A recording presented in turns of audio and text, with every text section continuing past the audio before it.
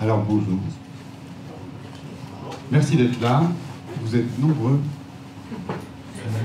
La salle est pleine. C'est parce que je vous ai demandé de venir que vous êtes là C'est vrai? Qui, qui est venu parce que je lui ai dit ou parce que je vous ai dit dans les emails tout ça de venir? Ah, pas tant en fait. Donc il y a beaucoup de gens. Est-ce que. Qui ne me connaît pas ici? Ah ouais. Ça c'est cool. Eh ben je vais pas me présenter. Je ferai ça plus tard. Comme ça, je garde un peu de suspense. Alors aujourd'hui, euh, je vais vous parler du stress en escalade. D'accord? Je vais partager avec vous deux questions que vous pouvez utiliser pour fixer et atteindre vos objectifs, que ce soit dans l'escalade comme dans la vie. Juste avant, je vais à nouveau vous poser une question. Qui ici a déjà connu un petit stress en escalade. Qui ici a déjà connu un gros stress en escalade? Ok. Ah, bon, vous êtes dans la bonne salle. Qui a déjà fait du bloc en salle ici? Ok, on a des bloqueurs. Alors, est-ce que ça vous est déjà arrivé de vous retrouver dans cette situation? Vous passez un bloc à votre niveau max, voire sur max. Vous êtes super fort, vous êtes super content. Le problème, c'est que personne ne vous a vu. Vos potes n'étaient pas là ce jour-là. Et vous êtes un peu dégoûté. Du coup, la séance d'après, quand il y a tous vos potes, vous les convoquez, ils se mettent en rond d'oignon, vous regardez bien. Là, vous partez dans le bloc. Et là, eh ben non, ça sort pas. Vous n'avez pas la méthode, vous êtes en vrac total, vous n'arrivez pas à refaire ce que vous avez fait pourtant deux jours avant, et vous, vous le plantez lamentablement dans le tapis. Bon, vous avez déjà vécu ça? Qui, a déjà vécu ça ici? Je suis pas le seul ah, ça, ça me rassure. Ok, ah, je on est pas bloc. Est-ce qu'il y a des gens qui ont déjà grimpé en falaise ici? Ok, on a des falaisistes. Alors, est-ce que vous connaissez cette histoire? C'est aussi quelque chose que j'ai vécu souvent, j'espère que je ne suis pas le seul. Vous partez dans une voie, à vue, une voie à votre niveau max.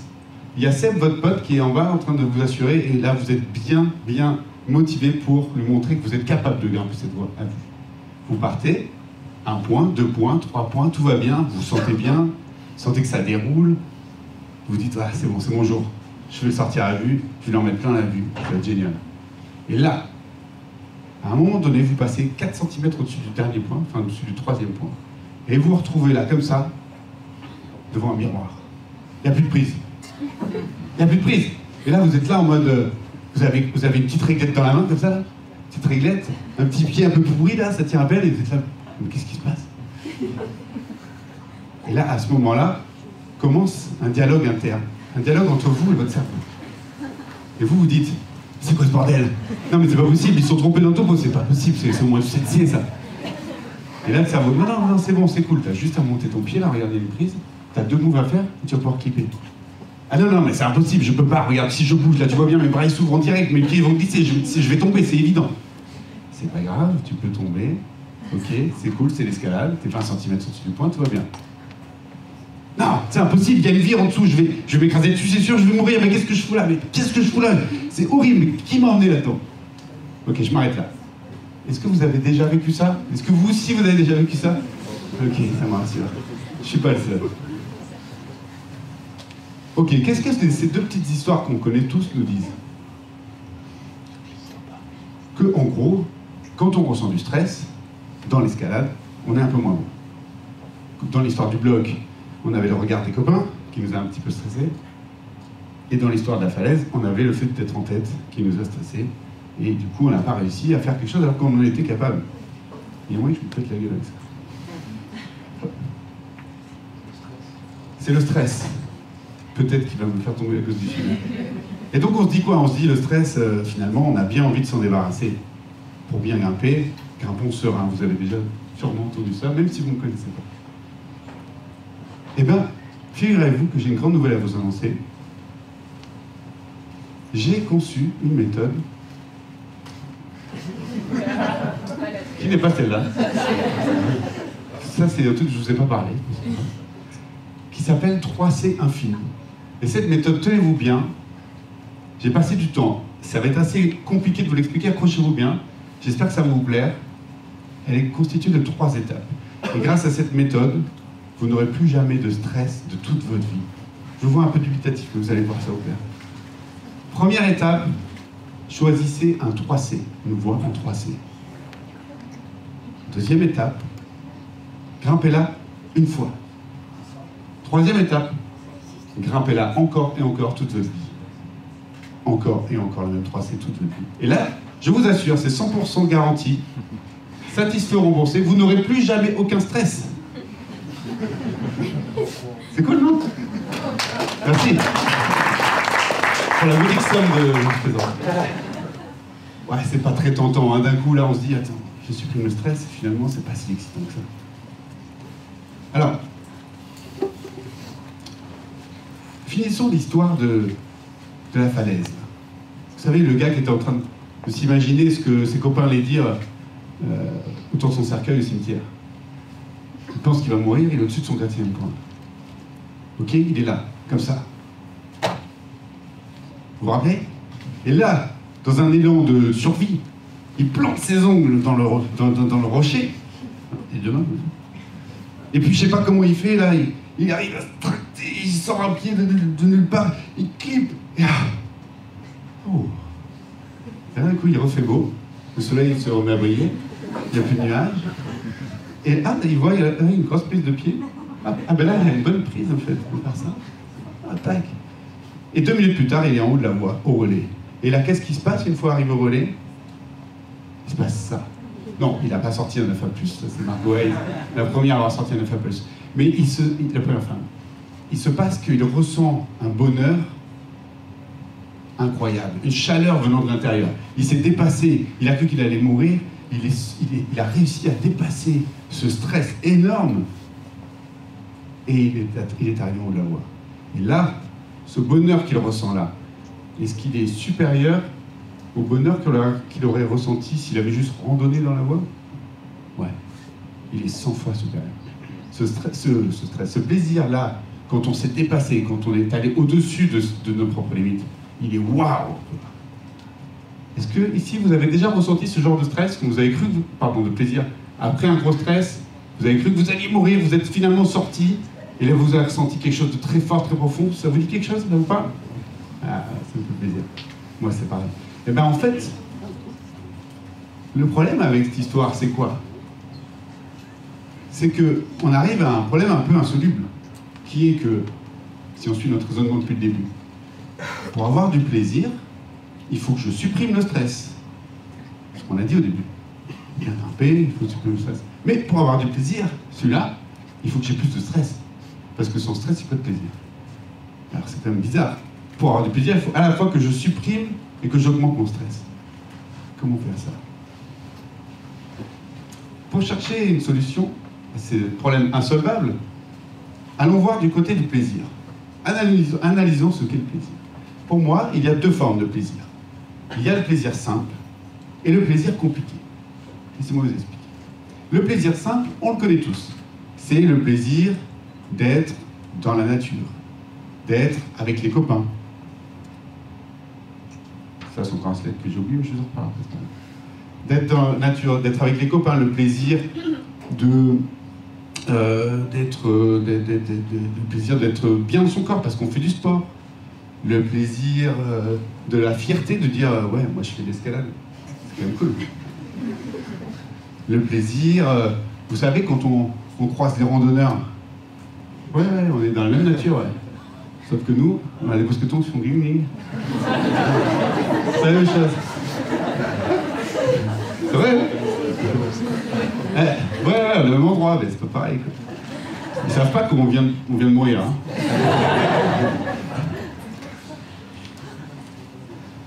Mais bon, est-ce que ce plaisir simple, qui est effectivement accessible à tous, enfin dans toutes les situations, sans même se dépasser, on peut ressentir ces plaisirs-là, est-ce que ces plaisirs simples sont suffisants pour nourrir notre passion? Est-ce qu'ils sont suffisants pour toute notre vie nous faire sentir aussi passionnés par l'escalade comme on l'est aujourd'hui, ou en tout cas quand on débute? Pas forcément. C'est là qu'intervient l'autre plaisir, le plaisir compliqué. Le plaisir compliqué, c'est celui qui est relié au dépassement de soi, à l'atteinte d'un objectif. Je t'ai vu. C'est celui qui relié à la satisfaction d'avoir passé, d'être passé au travers d'un moment de stress Et c'est le fruit d'un effort, et ce, plaisir-là, c'est le plaisir de Waid tout à l'heure, il est de fait bien supérieur au plaisir du ding-ding des mousquetons. Et là, j'ai le slide, là j'y pense. Et c'est la slide de quelqu'un qui est arrivé en haut d'un sommet. Voilà, ce moment-là de gloire. Ceux qui font la grande voix ici reconnaissent un moment où on arrive en haut d'une voie et on, sait qu'on a gagné la journée et bien plus.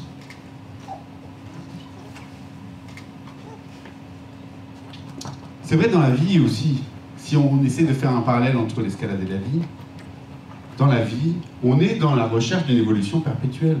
On cherche toute notre vie à s'améliorer, à gagner plus d'argent pour certains, être plus sachant, être plus sage, avoir plus d'amis, ou moins d'amis, mais des meilleurs amis, en tout cas avec des meilleures relations. On cherche toujours à renouveler nos expériences. Qui ici aurait envie de regarder le même film toute sa vie? Personne. Si on nous dit euh, tous les soirs de votre vie, vous allez regarder le même film, c'est horrible. Heureusement, il y a Netflix. Donc, finalement, là, si on fait un point d'arrêt, on vient de comprendre que le stress était indispensable à notre plaisir, à notre bonheur de notre vie. Ok. Et c'est aussi pour ça qu'on dit toujours, pour progresser, il faut sortir de votre zone de confort. Vous avez sûrement entendu cette... Euh, hein On dit toujours il faut sortir de la zone de confort. Ok, super. Alors, est-ce que vous reconnaissez le mec en rose là? Le mec en rose s'appelle Jackie. Et je sais pas vous, mais moi, dans toutes les salles d'escalade où je suis allé dans ma vie, il est toujours un Jackie, au bar. Vous savez, c'est le mec qui est toujours là. Pouvez passer n'importe quelle heure dans la semaine, il est toujours à la salle. Il grimpe pas beaucoup, mais par contre, il a toujours un conseil. Il a toujours un bon conseil. Surtout quand il y a une nana. Et Jackie, il nous dit ouais, il faut sortir de votre zone de confort pour progresser. Et il n'a pas tort quelque part. Mais là où il a un peu tort, c'est que c'est incomplet. Et ça peut même être contre-productif de donner ce conseil. Pourquoi? Parce que... Non, je reviendrai. Je vais expliquer pourquoi plus tard. Je vais vous donner un exemple. Et je bois un coup d'abord.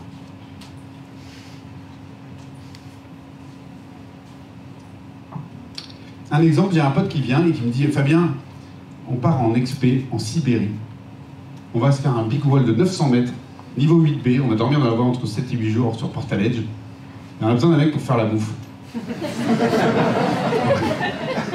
Toi, tu grimpes euh, quoi en salle 5C C'est bon, vas-y, viens, tu vas te régaler. Waouh Là, qu'est-ce qui se passe dans ma tête? Je vous laisse deviner, panique totale, ça ne me motive pas. Le challenge, il est là, je me sens pas du tout capable de relever ce challenge. Donc je me dis, non, non, désolé, mais ça, c'est pas pour moi. Ça fait trop peur. Mais il se trouve que je continue à écouter mon pote. Et il dit non mais attends, ça c'est dans 18 mois.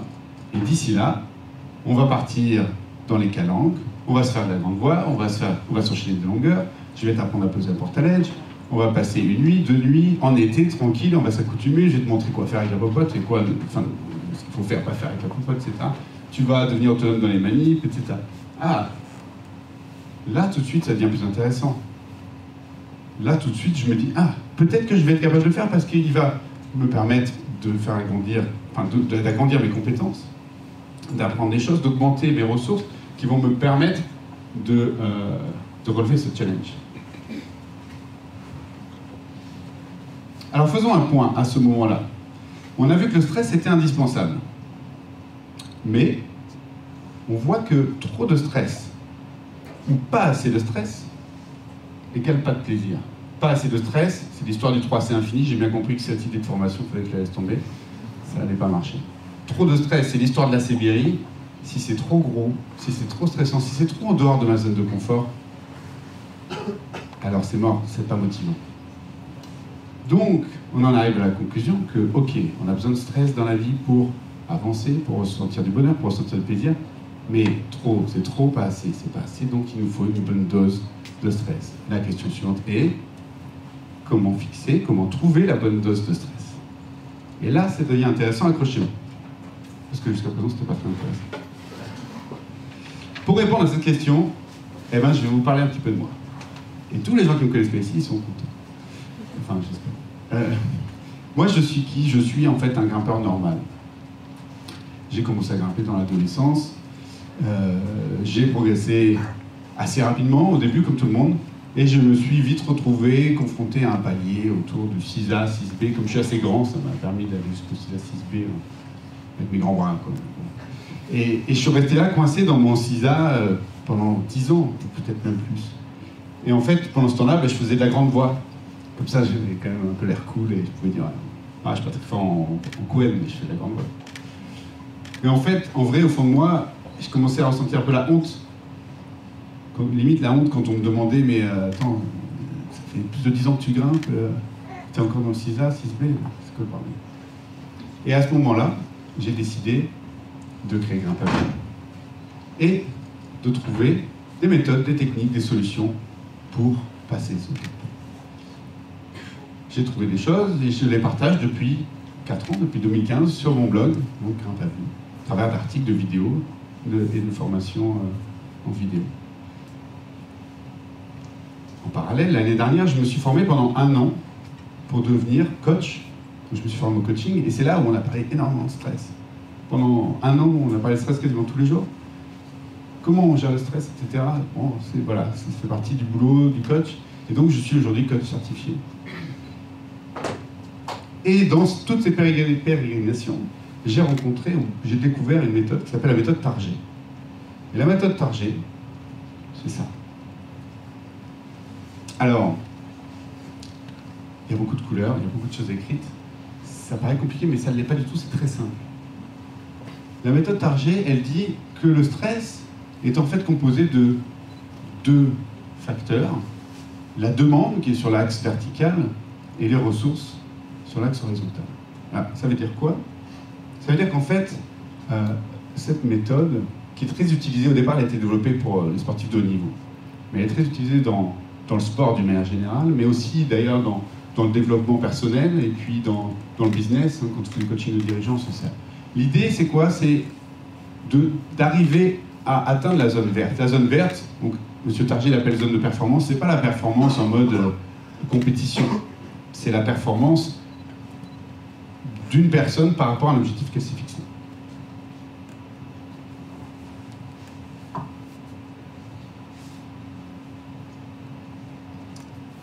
Et donc on a ces deux axes. Alors pour imaginer un peu ça, je vais vous donner des exemples. Donc le but c'est de trouver l'adéquation hein, entre la demande et les ressources pour se retrouver dans la zone. Donc par exemple, si on prend l'axe des ressources en bas, Si on prend la méthode 3C infini, dont je vous ai parlé tout à l'heure, donc on a quoi? On a en gros, euh, il me manque une main. Je vais Méthode 3C infini, c'est en gros, je vous ai dit, vous prenez un 3C, et vous allez grimper que ça toute votre vie. Ok. Donc le 3C, on est là, clairement, en termes de demande. La demande, c'est le, stress que représente l'objectif. Donc l'objectif, c'est un 3C, le stress, il est à peu près là. C'est-à-dire qu'il est juste à 0. 3C, c'est un escalier, hein. d'accord? Bon, la demande est là. Donc les ressources, euh, ben, pour un 3C, je devrais y arriver, j'ai 100% de mes ressources. Donc je suis là, je suis dans la zone de routine. Clairement, je... Non, merde. Ok? C'est pas là absence de défi, trop de certitude, voilà, zone de routine. C'est pas vraiment euh, tripant. Un autre exemple que on connaît tous, enfin en tout cas moi j'ai connu maintes reprises dans ma vie de grimpeur, c'est la reprise. Vous savez ce moment où vous n'avez pas grimpé pendant une semaine, deux semaines, trois semaines et vous revenez à la salle, vous retentez un bloc une fois que vous aviez fait euh, doigt dans le nez avant de et vous revenez, vous n'y arrivez pas. Mais en fait, qu'est-ce qui s'est passé? La demande n'a pas changé, la voie, elle est, ou le bloc, il est toujours à peu près là. Si vous êtes dans votre niveau quasiment max, donc c'est la zone, euh, voilà, au milieu de l'échelle. Vous aviez toutes vos ressources, vous étiez en zone de maîtrise. Ok? Vous revenez après trois semaines sans vos ressources ont diminué, et vous vous retrouvez ici, en zone, ah, peut-être pas panique, mais défi, quoi. Ici. Comprenez comment ça marche? Ok. Exemple sur la demande. Là, je peux reprendre l'exemple de la Sibérie. Quand mon pote il me propose de partir en Sibérie, faire un expé de 900 mètres, euh, 7 euh, jours en portage, faire du 8B, ah, là j'ai zéro ressource pour ce qu'il me demande, donc direct c'est la panique. Défi est trop important pour moi. Zone de panique, c'est décourageant, je ne vais même pas y aller. Par contre, quand j'ai continué d'écouter et qu'il a, il a continué de m'expliquer comment il allait faire pour me permettre d'augmenter mes ressources, avec de la formation, avec du coaching, il allait m'emmener, il allait, il allait m'amener doucement vers, euh, vers, vers, les compétences nécessaires pour relever le challenge. Alors, j'augmente mes ressources et je tombe en zone défi. Alors si Jackie connaissait cette méthode, qu'est-ce qu'il dirait, l'ami Jackie? C'est mis à sourire, vous avez Eh bien, il dirait quelque chose du style pour progresser, sors de ta zone de confort, mais surtout, avant ça, augmente tes ressources. C'est un peu moins sexy, mais finalement, c'est beaucoup plus utile. Alors, faisons un petit point. Où est-ce qu'on en est? On a plaisir était proportionnel au stress. Quand on prend un gros stress dans la gueule, si on le surpasse, derrière, on a un plaisir qui est waouh. Ok. On a vu que trop de stress, en revanche, égale pas de plaisir, parce que trop de stress, démotivant, on va pas relever le challenge, donc on va pas avoir le plaisir. Ok. On a vu comment trouver une bonne dose de stress. L'adéquation entre la demande et les ressources. Ok.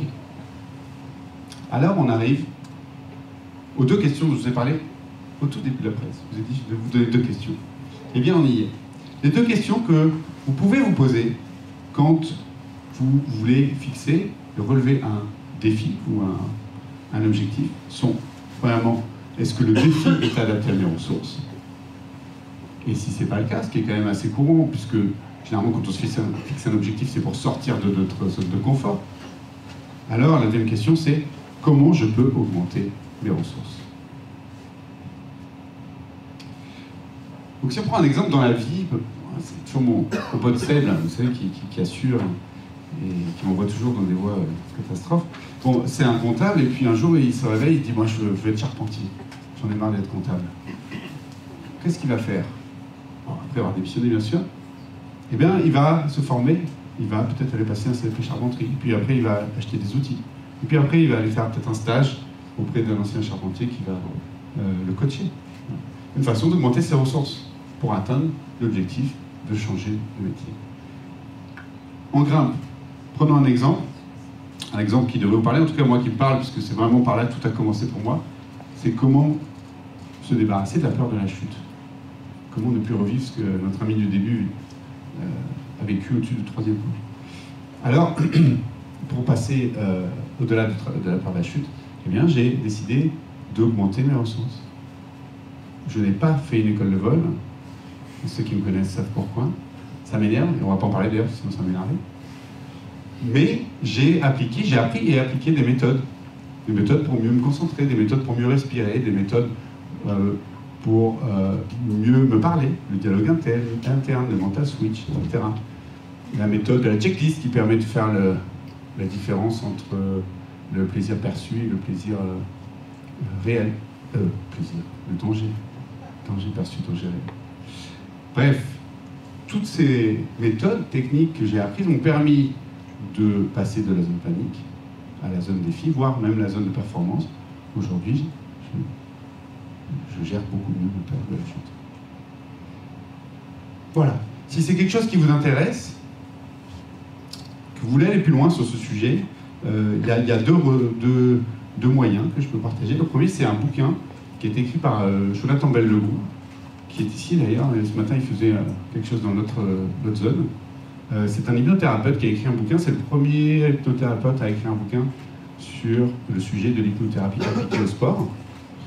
Ça s'appelle Performance, euh, hypnothérapie, performance sportive, je sais plus. Je vois des têtes qui se hochent. Très bon bouquin, effectivement. Et euh, super personne au passage.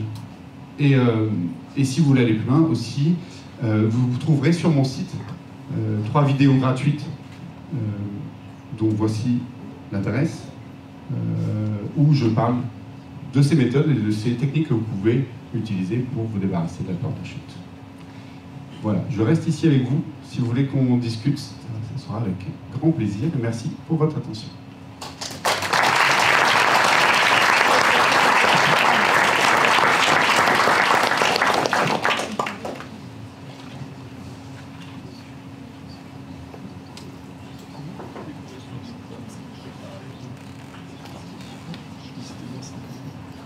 Offline, histoire de faire une transition, je vous montre juste ça parce que je, je l'ai zappé, c'est dommage.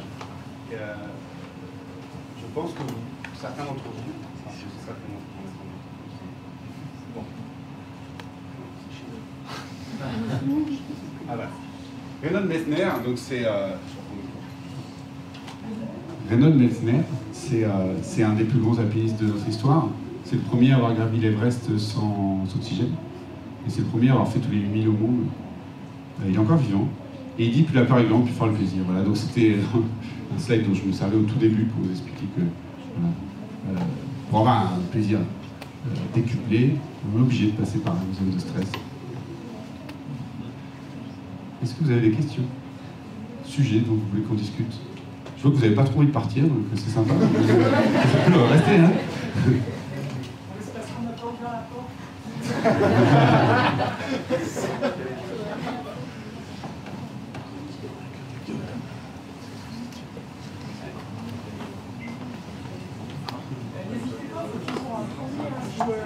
On y va, on y va.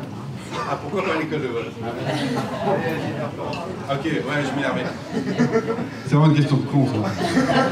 Non, je plaisante. Alors, pourquoi pas l'école de vol euh, Alors, ceux qui me connaissent, tiens, est-ce qu'il y a des gens qui savent pourquoi je n'aime pas l'école de vol?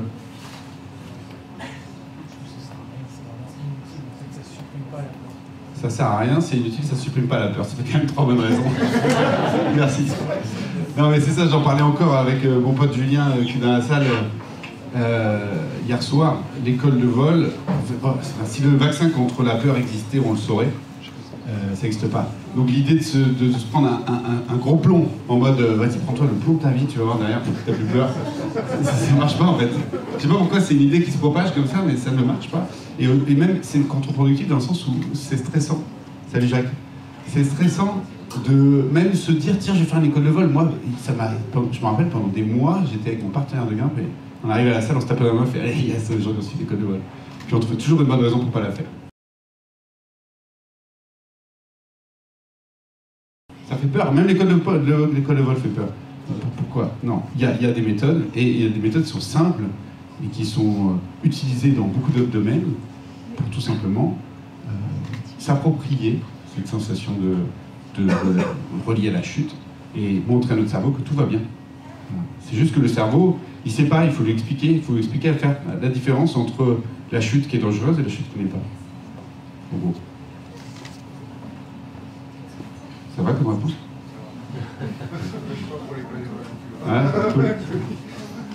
Bon, après, ça ne reste que mon point de vue, et bien évidemment, j'ai pas la science infuse, etc. Mais voilà, c'est mon expérience, mon point de vue, et puis celle de centaines de personnes qui sont passées euh, à mes côtés dans, cette formation qui s'appelle J'ai plus peur. D'où le, grimpe à vue JPP, J'ai plus peur. C'est une formation vidéo.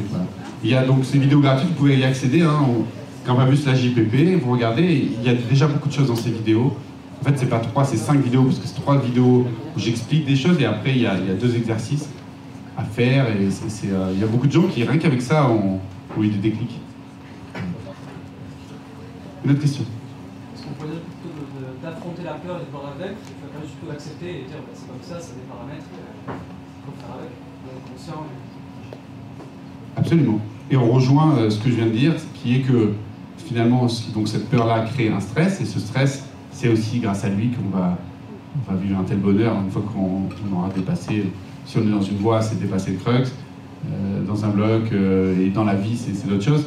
Mais oui, on s'en sert, c'est sûr. Il ne faut, faut pas la nier, il ne faut pas mettre des œillères. Il faut, plutôt comprendre comment ça marche dans notre, dans notre cerveau. Voilà.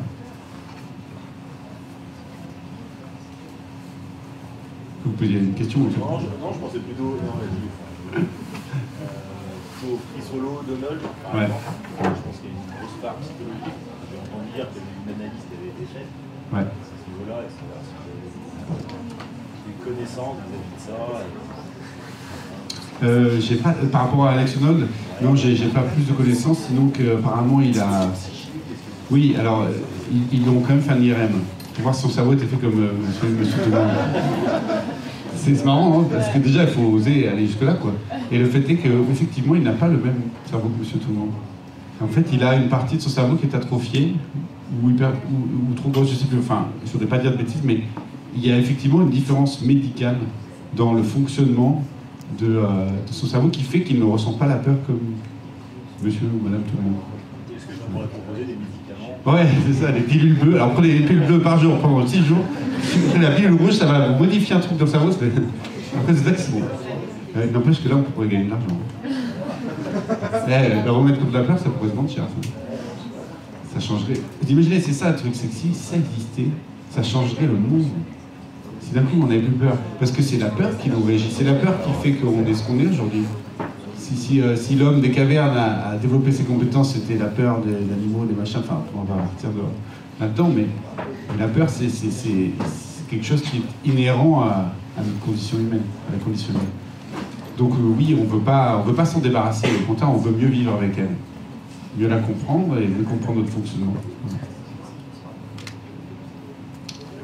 Jacques, une question Oui, est-ce que je pourrais recommencer parce que Oui, j'ai vu. Et alors, ce qui est génial, c'est que je viens de comprendre, enfin de réaliser à l'instant que je n'ai pas démarré euh, la caméra. si, si, il y en a quand même deux, mais le, téléphone, je voulais faire un live sur Facebook, j'ai juste pas appuyé dessus, quoi. Tant pis, tant pis pour les autres Facebook. Gilles. La première, c'est j'arrive pas, je suis vraiment désolé, mais j'arrive pas à éprouver peur en, grimpant. Euh, en montant. Mais en descendant, oui. Euh, et il m'a fallu euh, une année pour, pour accepter le rappel. Donc je ne sais pas, est-ce que je suis anormal? Je ne comprends pas. Je ne comprends pas pourquoi ça.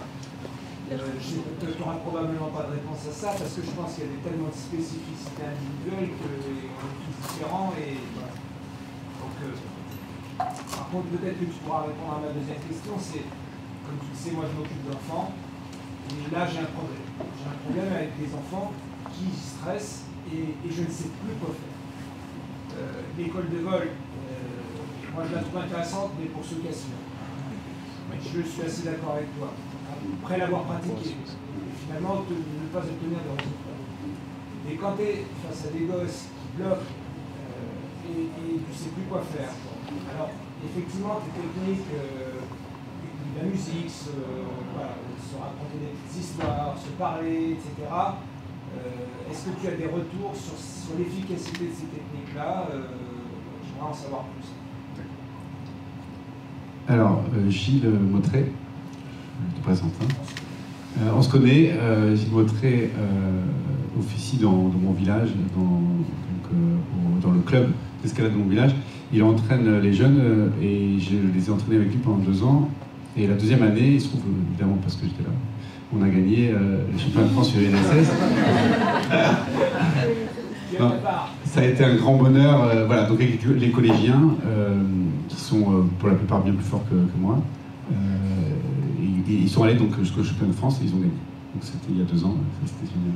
Donc voilà, on se connaît bien avec Gilles et on a beaucoup discuté de, ces, de, tout ça passé.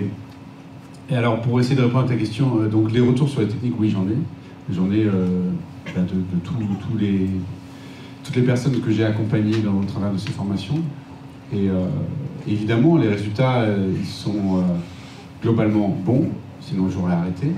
Maintenant, c'est pas de 100%, parce que c'est la psychologie humaine et on est tous différents. Pour essayer de répondre un peu plus précisément, dans le, cas des jeunes, euh, bon, déjà, déjà la psychologie d'un adolescent c'est différent de la psychologie adulte, et euh, je m'y connais moins. Euh, et puis j'ai pas d'enfant moi-même, donc je, ne suis pas encore, peut-être que dans 15 ans j'aurai plus d'expérience par rapport à ça. mais ce qui est sûr, c'est que voilà, je décris l'école de vol pour son côté violent. Je fais jamais de vol, j'ai hyper peur. Boum, je me mets un vol de l'espace où je vais en créer une, énergie, une émotion négative, et après plus rien. Parce que vraisemblablement, de toute façon, je serai traumatisé. Euh, et, l'idée inverse, c'est d'habituer euh, les personnes à chuter tout le temps. Et en fait, dans, la formation, je crois que c'est module 4, euh, on parle du vol automatique. Le vol automatique, c'est de dire, OK, à chaque voie, je prends un petit vol. Mais au départ, c'est même en moulinette. Pour les gens qui partent loin, il y en a, d'ailleurs une personne qui a fait un témoignage il y a deux jours qui s'appelle Sophie, euh, et euh, qui était totalement bloquée il y a deux ans quand elle m'a contacté. Elle ne pouvait pas grimper en tête au-dessus du genre 4C. Quoi. Elle avait trop peur. Alors qu'en moyenne, elle faisait du 6B. Bon, et là, elle vient de sortir, euh, pour passer le SAE, elle a sorti un 6B en tête, et donc elle était hyper fière. C'était pour dire quoi? C'était pour dire que, voilà, au départ, on, on, peut être en moulinette et faire des premières chutes. En moulinette, juste la sensation de se lâcher et de tomber dans le baudrier, même de rien. En fait, c'est ça euh, là, on pourrait reprendre un peu l'analogie du, vaccin, c'est-à-dire qu'on se met des, petites, des petites doses comme ça de, de sensations qu'on associe à des émotions positives, puisqu'on voit que tout va bien, il s'est rien passé, je ne me suis pas fait mal, je ne me suis pas fait peur. Et donc la sensation d'avoir l'estomac qui remonte, la sensation de la chute, le cerveau l'associe à euh, des émotions positives. Et c'est ce travail-là, en fait, qu'on fait et qu'on recommence voix après voix, jour après jour, euh, pendant euh, tout le temps, en fait. Parce que l'histoire du mental, et ça, c'est pas moi qui le dis, c'est Arnaud Hiner dans son livre La voix des guerriers du rocher, c'est. Le mental est un muscle, et quand on arrête de s'en servir, il s'atrophie, comme tous les muscles. Et donc, quand on arrête de chuter, quand on a arrêté, par exemple, de grimper pendant 2-3 semaines, ou 3 mois, ou 6 mois, on revient, on a peur à nouveau. Donc c'est un travail de tout le temps, mais c'est pas un travail qui est, désagréable parce qu'au bout d'un moment, on a associé la peur à quelque chose de positif. Et donc, c'est pas grave, c'est cool. Par contre, on a aussi appris, et ça c'est la partie un peu plus théorique qui est importante, à faire la différence entre la bonne chute et la mauvaise chute, et analyser rationnellement, au travers d'une checklist, la situation dans laquelle je suis. Si effectivement il y a une vire en dessous, si effectivement euh, c'est engagé, c'est sketchy, et si effectivement je peux me blesser, ah, donc là, d'un coup, dans mon arbre décisionnel, je suis à un endroit où il y a un vrai danger. Donc là, peut-être que je vais dire, j'y vais pas. Et je prends la décision de pas y aller. Et je dis oui, ma peur. Ma peur qui me sauve la vie. C'est, la peur, on a besoin pour, se maintenir en vie. Sinon, on sauterait tous du haut des, du toits pour gagner du temps plutôt que de prendre l'escalier. voilà.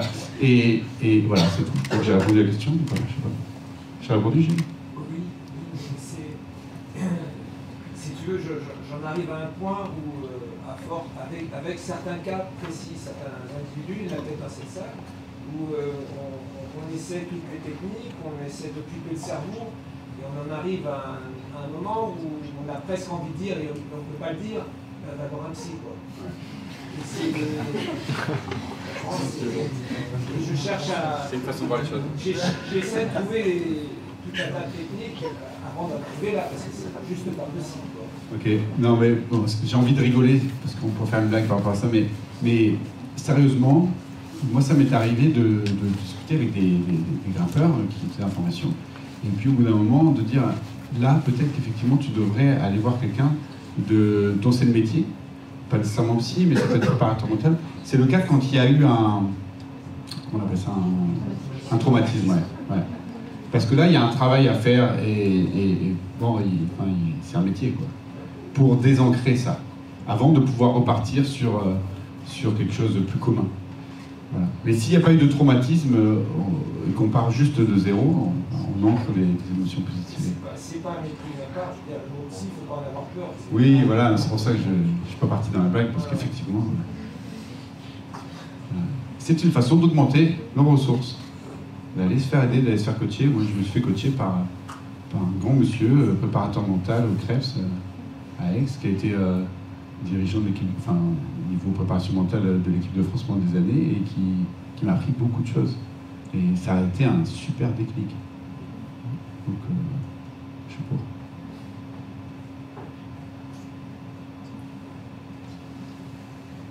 On est bien, hein?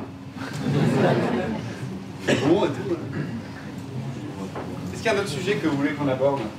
À part euh, la, la, peur de la chute, je sais pas quelqu'un a ou, une expérience à partager.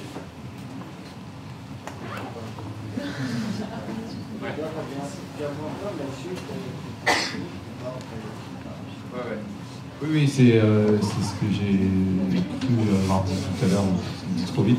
Mais oui, oui, ça, oui, oui, bien sûr. Ça a été vraiment le gros déclic. Hein. J'étais bloqué à cause du mental. Et euh, quand j'ai, je me suis débarrassé de cette peur en comprenant ce qui se passait dans ma tête, euh, et en, appliquant des méthodes simples. Donc, euh, Gilles parlait de, des histoires qu'on se raconte, moi je dis dialogue interne. C'est juste, euh, voilà, du moment où on se parle, tout à l'heure dans la scène que je décrivais, on attend c'est très négatif. Genre, non mais j'arriverai jamais, non mais j'ai pas la force, non mais c'est trop dur pour moi, mais je, vais m'écraser, je vais mourir. Enfin, on est hyper négatif. le simple fait déjà de passer dans le positif, allez, tu vas y arriver, vas-y, fais ci, fais ça, un petit mouvement, tu vas, hop, déjà, déjà c'est beaucoup. Puis après, on peut travailler, il a le jeu technique, le dialogue interne, tout ça. Et euh, donc oui, ça m'a fait beaucoup progresser. Ça ne veut pas dire que j'ai pas peur. Je suis quelqu'un qui est sujet à, ça, euh, plus peut-être que d'autres, ou je sais pas, ou moins que certains, mais euh, je, ressens bien sûr la peur. et a fortiori quand je ne pas régulièrement, ce qui est le cas en ce moment. Donc là, quand je retourne dans la falaise, à ce moment, ça plus les chocottes. Mais je sais quoi faire.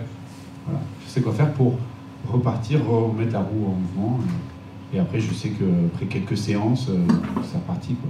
Et ce bonheur quand on grimpe et que et qu'on a le flow là, c'est-à-dire qu'on est 100% focus dans l'action, euh, et qu'on ne pense pas à euh, la possible conséquence de quelque chose qui pourrait arriver. Non, on est là, quoi, on est vraiment 100%, c'est génial. Ça, c'est un grand bonheur. Et là, on est fort.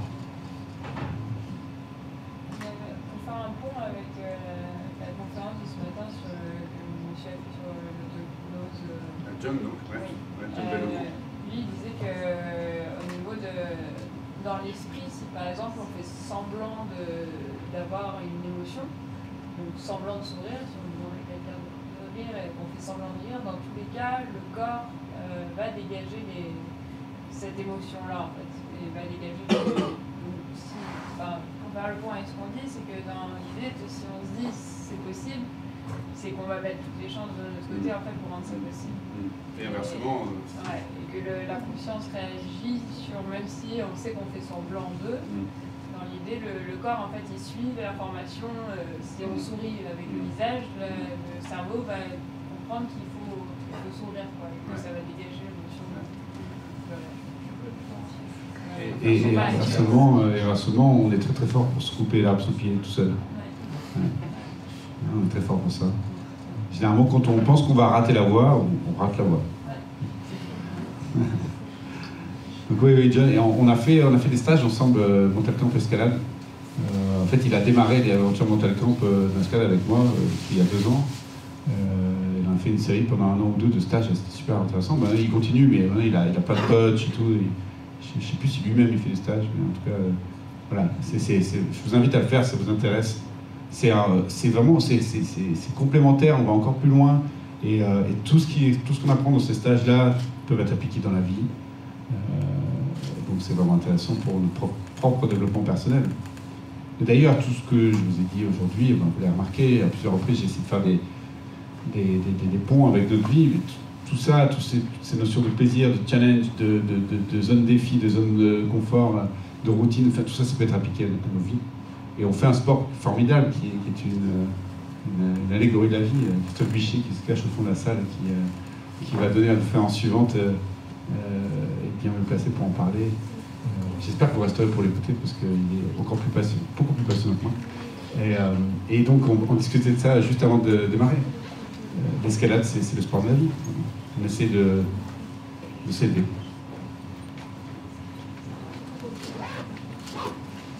De notion d'heure.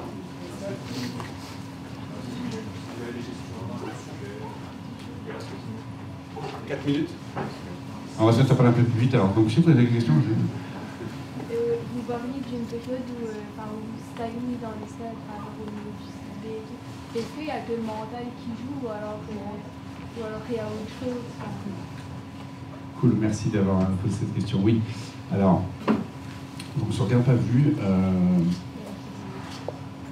donc ça fait 4 ans maintenant que je, que je blogue, hein, que j'écris des articles, que je fais des vidéos sur ce sujet de la progression de l'escalade. Euh, j'ai démarré par le mental parce que c'est ce qui m'a fait, euh, moi, passer ce, ce cap.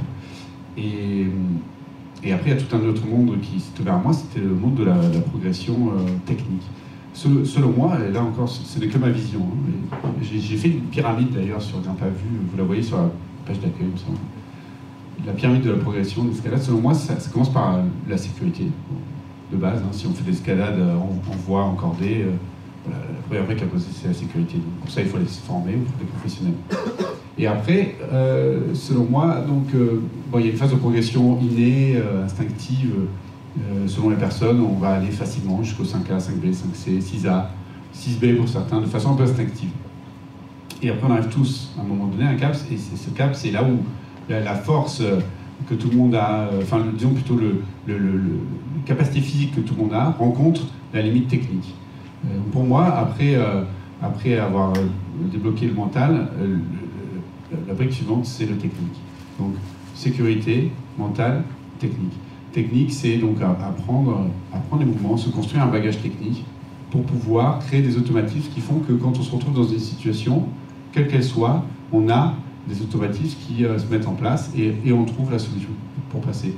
le grand Patrick Dinger disait tout nouveau mouvement, si nouveau soit-il, est basé sur des mouvements déjà connus.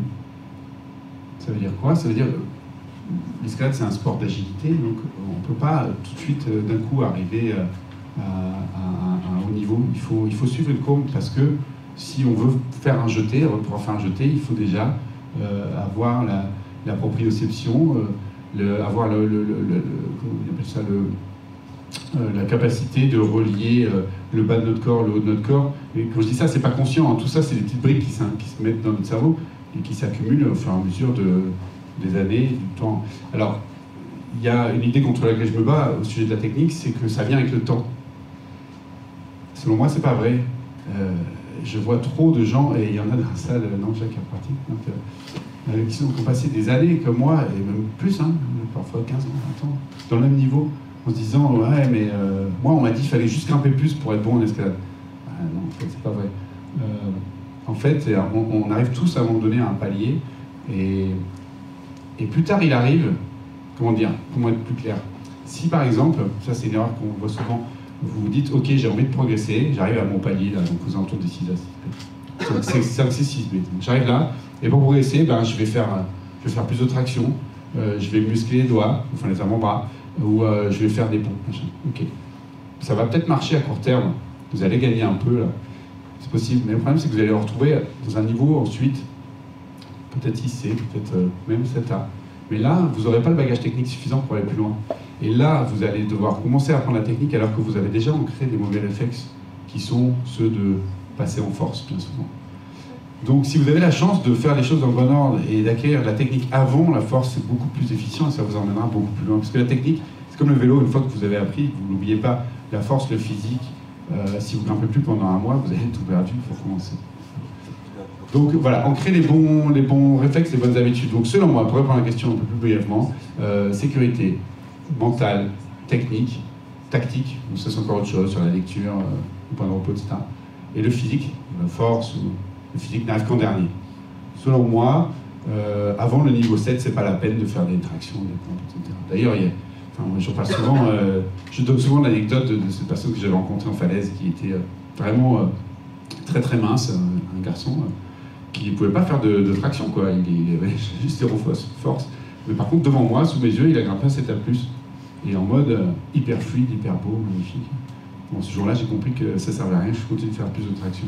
Et, bon, regardons les femmes, je veux dire, autour de nous, combien il y en a qui grimpent plus, fort que nous? Énormément.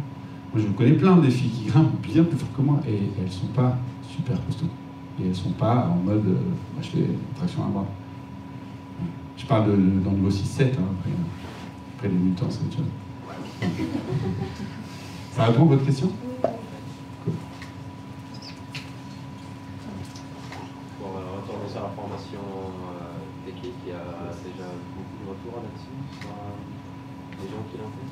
Oui, alors, euh, donc la formation, j'ai deux formations en ligne, hein. une formation qui s'appelle J-Cooper, une formation qui s'appelle Technique de grimpe, que j'ai euh, donc euh, démarré il y a un an, en septembre 2018, et que je n'ai pas tout à fait terminé de, filmer.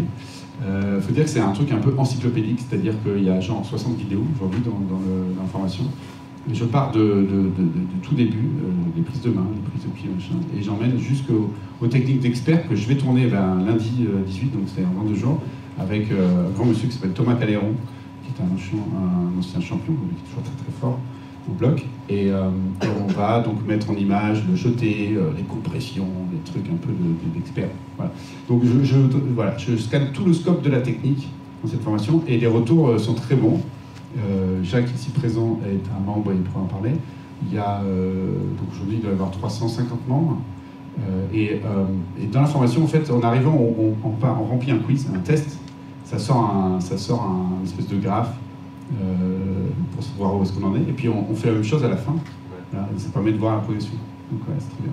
Mais de toute façon, ça ne peut que être productif. Pourquoi? Parce que on, dit toujours la lucidité est irréversible. C'est-à-dire qu'à partir du moment où vous avez vu et compris quelque chose, ben, d'un coup, c'est comme s'il y avait une nouvelle porte qui venait de s'ouvrir et puis vous ne pouvez plus la fermer, parce que vous avez compris quelque chose. Quoi. Donc quand vous avez compris pourquoi il fallait placer une lotte ou un drapeau ou euh, une carte externe, ben après c'est ancré. Quoi. Enfin, c'est pas ancré, c'est compris.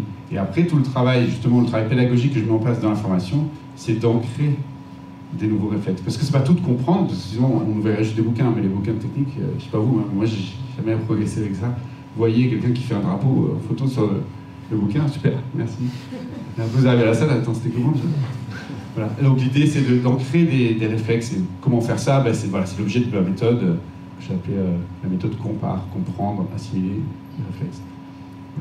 Qui encore une fois, c'est rien inventé, c'est du simple, hein, mais le tout c'est d'avoir un suivi, c'est d'avoir un ordre aussi, de ne pas apprendre euh, les choses dans le mauvais ordre, parce que ça peut être contre-productif, etc.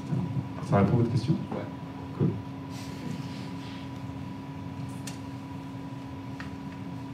J'en profite, hein, j'y suis. Ouverture des inscriptions mercredi. Je sais pas, tu, tu le savais ou pas? Ah, merci. C'est pas un pote, enfin je veux dire, on se connaît pas, on n'a pas. Non, non, mais j'avais l'idée de. Ouais, ouais, merci. Regardez, mais c'est vrai que j'avais pas encore eu beaucoup de retours sur. Ouais. Euh, bah, tu, tu, verras, il y, a, il y, a, des vidéos de personnes. Euh, Jacques, ici présent, a fait une vidéo témoignage. Et encore merci. Euh, donc, ils sont deux ou trois à avoir fait ça. Puis il y a pas mal de témoignages écrits, donc des gens qui, qui l'ont fait et qui disent euh, ce qui s'est passé pour eux. Euh, voilà, c'est pas l'arnaque. De toute façon, il garantie. Moi, tous nos produits sont garantis. Donc, c'est-à-dire que si les gens ne sont pas contents, ils me disent et puis je voilà, ce qu'ils. Donc, ouverture mercredi. Euh, mercredi, là, le, le 20. Pour ceux que ça intéresse venez, euh, si, venez voir ce que c'est. Euh, en plus, euh, vous verrez, on va faire un, tout tout petit prix parce que en fait j'ai envie vraiment d'évangéliser. J'ai envie que le maximum de personnes puissent, puissent accéder à, à, tout ça. Donc voilà.